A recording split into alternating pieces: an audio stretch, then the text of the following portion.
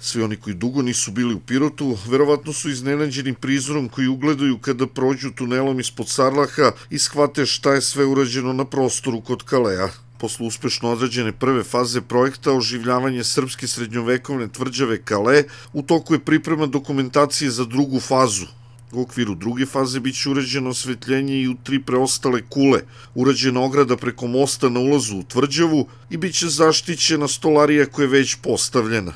Ono što je najvažnije, svakako je unapređenje digitalnih sadržaja.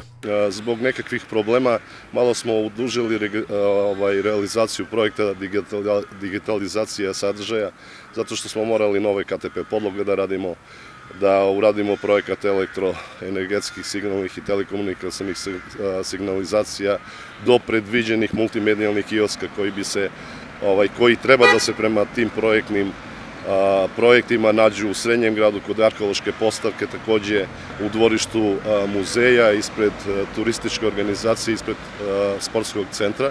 Očekujemo uskoro raspisivanje javne nabavke za unapređenje digitalnih sadržaja, a takođe taj pod, projekat podrazumeva instaliranje pet multimedijalnih dis, displeja koji će prikazivati određene tematske istorijske sadržaje u svih pet kula.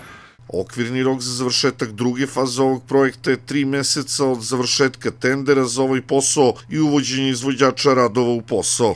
Kako Svilarov ističe, ukupna vrednost ovog projekta je 12 miliona dinara, a sredstva je obezbedilo resorno ministarstvo. Tokom radova na koridoru 10 pronađena su i dva miljokaza iz rimskog vremena sa puta Via Militaris. Jedan od ta dva miljokaza postavljen je u parku kod Kaleja.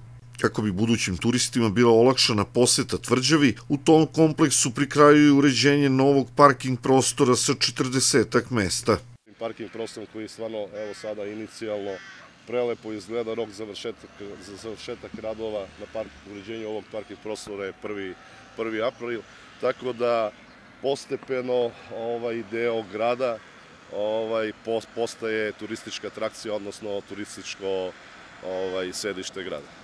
Da ne zaboravimo da je na prostoru bivše buvlje pijace kod tunela ispod Sarlaha predviđeno i preseljenje autobuske stanice iz Tijabare. Kada i to bude realizovano, svi piroćanci će zaista moći da se ponose tim delom grada.